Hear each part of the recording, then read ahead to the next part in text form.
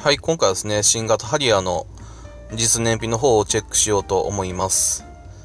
9月中旬時点で、全国平均のガソリン価格、レギュラーが124円、廃屋が135円で、軽油が103円。まあ少しずつ高くなってきて、で、燃費ランキングの方もですね、9月中旬時点のチェックしようと思います。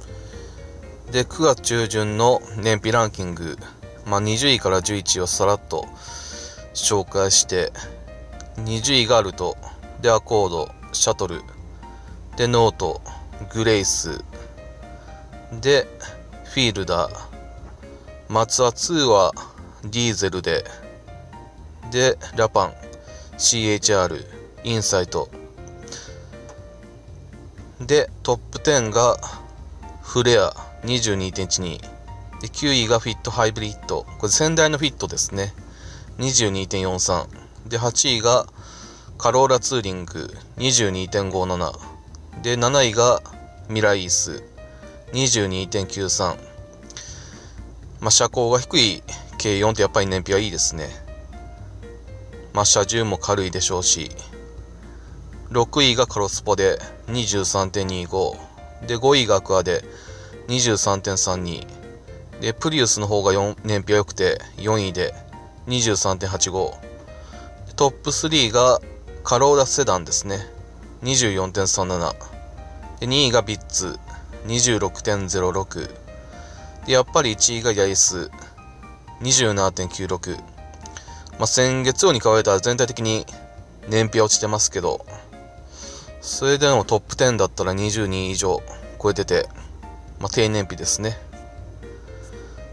で、ハリアーの方をチェックして、ハイブリッドの方も燃費記録出てるのか、80、85。ハイブリッドの方がまだ燃費は出てなくて、ガソリン車の方ですね。MXUA80。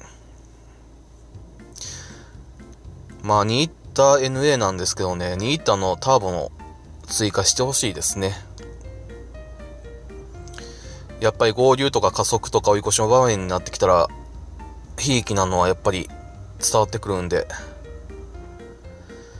車両価格が299万円。やっぱり廉価の S グレードを紹介してたら分かりましたけど、コストを抑えてる部分はやっぱりいくつかありましたね。ボディタイプが黒缶 SUV で、使用燃料がレギュラー、ミッションが CVT で、駆動方式が肉、排気量が 2000cc、登録が2020年6月、乗車定員が5名。全長とか考えたら3レシートも発売できると思うんですけどね。車重が1530か1620。グレードはまあ、レザーパッケージではなくて、標準 SGZ で、WLTC で15.4。達成率が87.63。で各走行値の燃費。市街地が11.3。で郊外が15.7。高速が18.0で、高速が一番燃費が良くて、で、その次郊外で、で、やっぱり市街地が一番燃費が良くなくて、年間ガソリン代が1万キロ走った場合、9万2101円。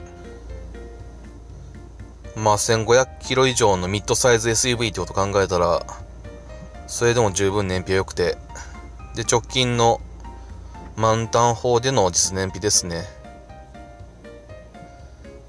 8月15から8月19はまあ、この前紹介した旧日時で、8月15が13.88、同日が14.21、で、19日が11.65、で、9月4日が13.11、で、6日が14.35、7日が13.97で、8日が13.30、一番燃費良くなかったのが8月19で。11.65。一番燃費が良かった人で9月6日ですね。14.35。まあ11でも結構燃費いいですけどね。ガンガンエアコンを使う時期ですし、ラブ4の方も一応チェックします。ラブ4。間違えた。斜面の方。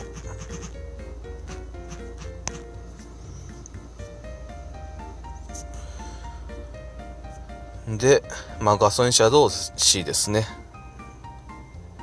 肉の方で、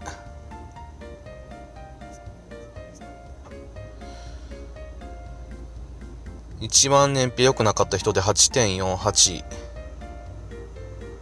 だいたい15から16が多いんで、ラブ4の方が、まあ車重もちょっと軽いですし、車体サイズも一回り小さいですからね。全長ですね。年間が8万6000なんで、